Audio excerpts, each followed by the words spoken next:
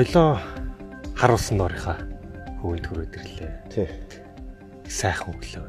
Сайх дөнгөж сая нар мондаад одоо сайхан өглөө болчихлоо.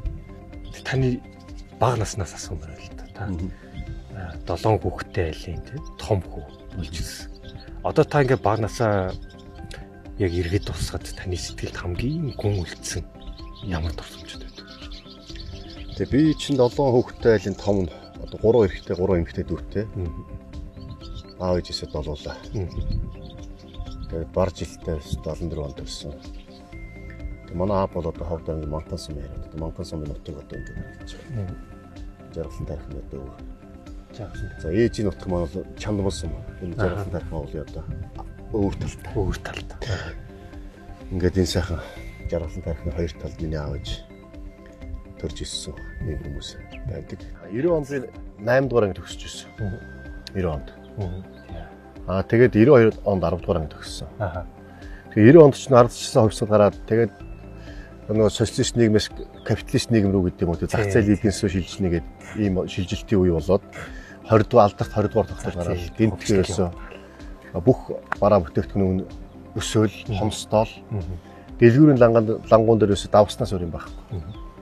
99 үндсэндээ 92 он хүртэл бол нэг 2 жил гаруй хугацаанд бол тийм байсан. 93 93 он хүртэл байхад авъя. Одоо чинь баг тэрнээс хойш 30 жил гаруй өнгөрч байгаа.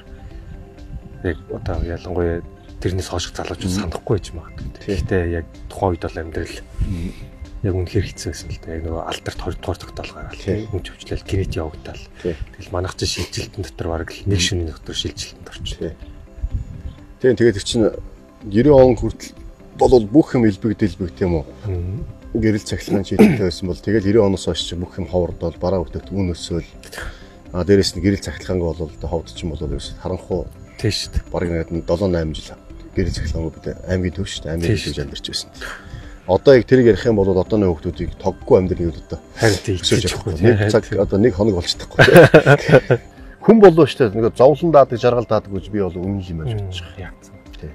Хүн ингээл хичнээн хүнд хэцүү байсан ч тэрийг даван туулан чадна гэдэг ингээд зүтгээ төвчээд бол ард нь гарч чаддаг. А тэгэхээр хүн өөртөө хамгийн гол нь ерөөсөө тийм би чадах ёстой, би л хийх ёстой гэх юм өөртөө итгээд өөртөө найдаад тийм үү. А тэгээд өөрөө би чадах ёстой гэдээ ингэ бодчих юм бол ямар ч асуудлын ард гарч чадах юм байна гэдгийг би зүгээр яг өнгөрсөн хугацаанд бас өөрийнхөө амьдрал дээрээс бас.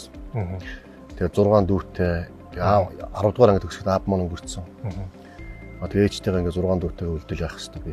Одоо энэ 6 дүүгийн хувь заа юм айлын том хүүхдтэй муу хүүхд миний гар дээр ирлээ гэл. Бас би л одоо энэ 6 дүүх хөдлөө би л амьдрахаас өөр хинж найдах хэрэг. Тэр үе чинь бүх хүмүүс өөрөө өөрсдөө амьдралыг яа хийхээс тийм үү. Дүүнэр чинь одоо бүгд одоо бүгд л хэцүү амьдралтай юм шүү дээ. Би үүндээ тусалж чадах ямар ч чадалт ингээд хүн байхгүй. Тэгэл өөрөө өөрсдөө амьдралыг яаж авч явах уу гэдэг л тийм үе цаг байсан.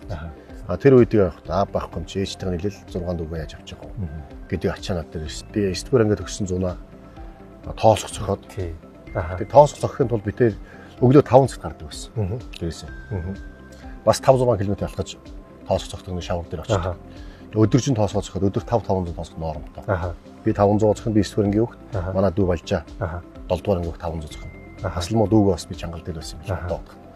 Мянган тоосгоо зохиол мянган тоосгоо дараад нь шатаагаад нүүрс авчиж асгаад шатаагаад тэгээд зараад. Тэгээ бид нэр 30 мянган тоосгоо нэг төгрөгөөр зарж 30 мянга төгрөг орчим болж байсан. Одоогийнхор бол 69-ны өмнө гэдэг чинь 30 сая төгрөг. Аа тэгээ тэндээсээ аавынхаа эмчилгээнд тэгээ гэр бүлийнхаа хэрэгцээнд зарцуулаад үлдсэн мөнгөлөө мөнгө үлдэж байгаа. Яг тэр үед 10 мянгаттай хороол гэж одоо дээдлээ одоо тийм шүү дээ. Хороол эхэлж байсан. Тэс яасан 10 мянган төгрөгөөр хашаа байшин барьж болдог байсан. 10 мянган төгрөг. А тэгэхээр бид тэр чинь 30 мянган төгрөгтэй хүн чинь 10 мянган төгрөгөө бас тийм өөрсдөөс хашаа байшин барьна гэдэг хадгалж үлдээгээд. А тэрүүгээрээ тэгээд нөгөө 10 дугаар ингээ эрт төгсчөөд ээж дүүнэртэй хашаа байшин барьж эхэлж ирсэн. 10 дугаар анги төгсдөг жилээ. Аа. Одоо надад ч гэсэн төсөөлөхэд 10 жилийн хүүхэд те 10 жилийн хоёр хүүхэд. Тэгээд тоосох зөхиод тэр жид чинь тоосох зөхий эхлээд учрыг нь олно шүү дээ. Тий. Хаан цогч болох уу? Тэгээд хүмүүс зөхиод юм уу? Тэгээд тэрийгээ бас зарна те. Тэгэхээр тухайн одоо одоогийн төгрөгөөр татсан бол 30 сая төгрөг гэдэг чинь бол их мөнгө шүү дээ. Их мөнгө шүү дээ. Одоогийнхоо 2 дунд сургуулийн 2 хүүхд 30 сая төгрөг зуны амралтаар олно гэдэг чинь. А тэр одоо юу гэдэг өнөөдрийн бас нэг амжилт бүтээл гэдэг юм уу? Бас тодорхой хэмжээний маш том урам гэсэн. Энд бол маш том хүн өөрийгөө дайшлах юм бол тэ маш их нөөц потенциал байд юм байна. А тэгэд ард нь гарч чадд юм аа гэдэг бол яг тэр үед л мэдэрсэн. За та тэгэд 10 жилээ төгсчөөд тэгээд 10 жил төгсөөд цэргийн сургууль тий. Тэгээд цэргийн сургууль бас ингээ оюутан болоо явчихж байгаа бос тий адил бас л дээд сургууль болох юм шиг. А тэгээ яагаад цэргийн сургууль сонгосон бэ гэхээр хоёр конкурсод одоо 10 дугаар онц төгссөн. Аа гайгүй сургууль оруулах байсан. Айл сургууль төгссөн. 2 дугаар амжилт. Аа 2 дугаар. Жоо хоёулаа 2 дугаар амжилт. Чи бас 2 дугаар амжилт тийм шүү дээ. Тий. Аа тэргийн сургуульд урилгаар орж болно гэсэн хуваар ирсэн. Аа за за. Аа тэгэнгүүт нь конкурс 7 сар болох гэдэг. Аа 5 сар тэр чинь урилга байгаад байдаг. Тэгэнгүүт ерөөсөө за сургууль бол адилхан юм байна. Эдийн засаг болсон сонирхолтой байсан. Чи ч гэсэн бас ярих хэрэгтэй шүү дээ. Ховдоос Харвард тий. Одоо ховдын хүүхд. Одоо бид нар чинь бол Улаанбаатарын хүүхд, дарга зэрэгнэрийн хүүхдүүд юм уу? Гадаа дотоод сургууль сурдаг. Аа дээрээс нь тэгээ одоо юу гэдэг хамгийн гоё сургуульд нь сурдаг. Аа гэрэг тийм боломж бол тэр Улаанбаатарынханд эсвэл одоо дарга айлын хүүхд, мөнгөтэй айлын хүүхд байдаг гэж ер нь ихэнх хүмүүс боддог.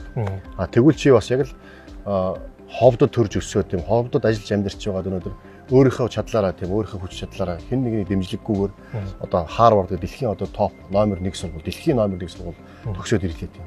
Эн чинь яасан гэвэл манай ховдынх нь ер нь Монголын залуучуудад тийм бас маш том үлгэр дуурайл. Ингээд хүн өөрийнхөө чадлага хичээх юм бол ийм одоо дэлхийн топ номер 1 сургууль сурч болдсон байна. гэдэг чи бас бодиттой харуулсан юм шүү.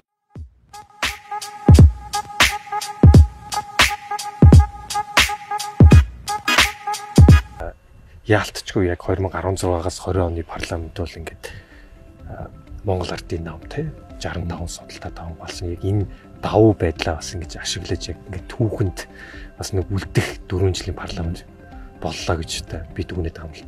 Тэг яа харахгүй те үндсэн хуулийн нэмэлт өс тодорхой хэмжээнд нэг өөрчлөлт хийх юм. Өөрчлөлтийг цааш нэг амьдралд хэрэгжүүлээд ингээд жигдрүүлээд те амьдралд ингээд таниулж мэдүүлж зөвшрүүлэх гэдэг асуудал бол их чухал асуудал.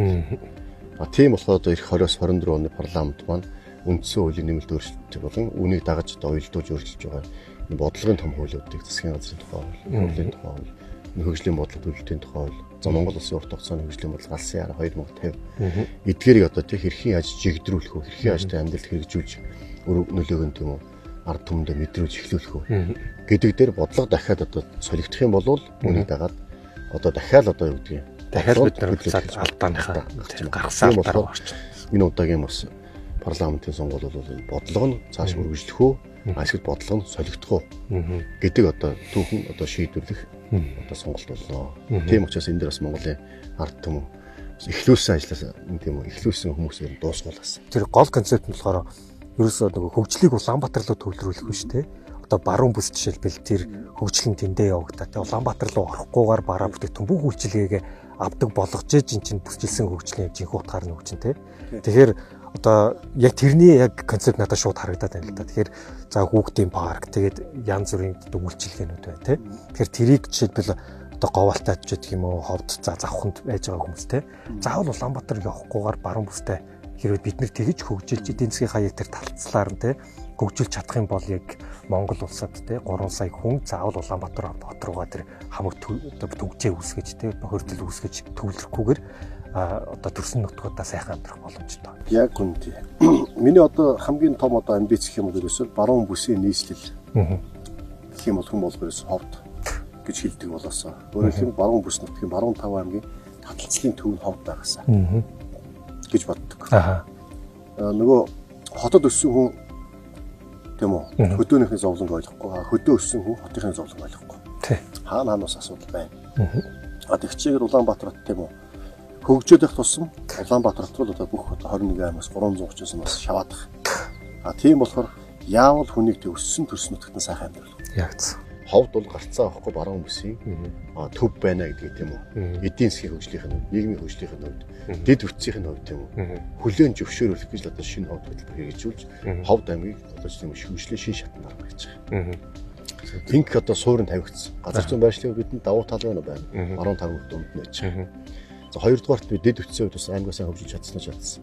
Сүүлийн 10 жилийн дотор тийм Ховд аймгийн нутаг дэвсгэр дээр 1200 гаруй км зам баригдсан. Бид нар Оросын албаны улстай хатуушаа замаар холбогдчихлоо. Хятад улстай хатуушаа замаар холбогдчихлоо. Улаанбаатар хоттой одоо урдуур одоо энэ жил холбогдно. За эх 4 жилүүдэд Улаанбаатартай хойгуураа тийм усан хэмжээд холбогдно.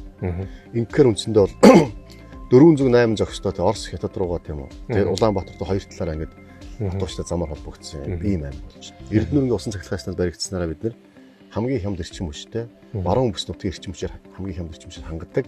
А дээрэс нь төвийн бүсээр нийлүүлдэг одоо эрчим хүч экспортлдог юм аймаг бол. Дээрэс нефть боловсрох үйлдвэр одоо ажлыг Ховд аймагт эхлүүл. Ингээд ингэх юм бол үндсэндээ Ховд аймагта олон томоохон одоо суур одоо үйлчлэгээ үн болсон одоо тийм бүтээгдэхүүн үйлдвэрлэдэг одоо үйлдвэрлэлүүдийг эрчим хүчээ Ховд аймагаас баруун бүсээ хамааралтай болгож байна. Цементний баруун бүсээ тийм Ховд аймагаас хамааралтай болгож байна. За нефть боловсруулах үйлдвэр нефть бүтээгдэхүүн Ховд аймагаас хамааралтай болгох. За дээрэс нэг чухал юм бол малын гаралтай түүхийдээ хаягддаг цэвэрлэх байгууламж.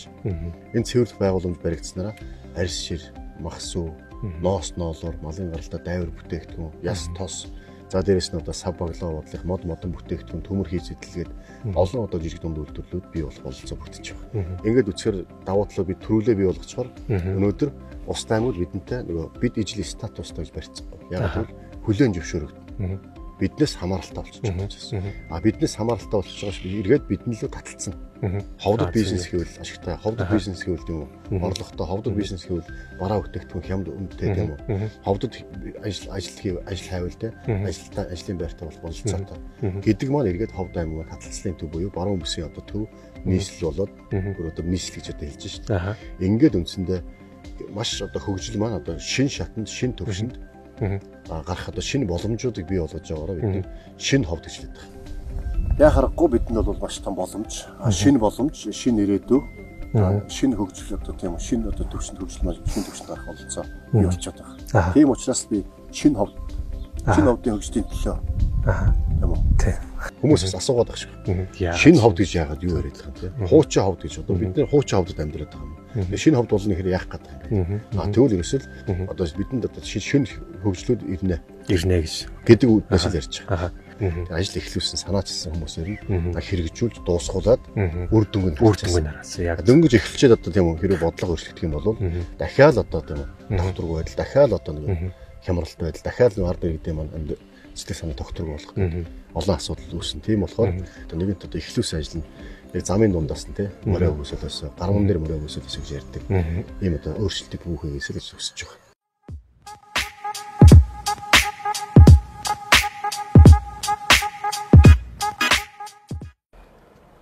Хоёрын толын хөвөн тий.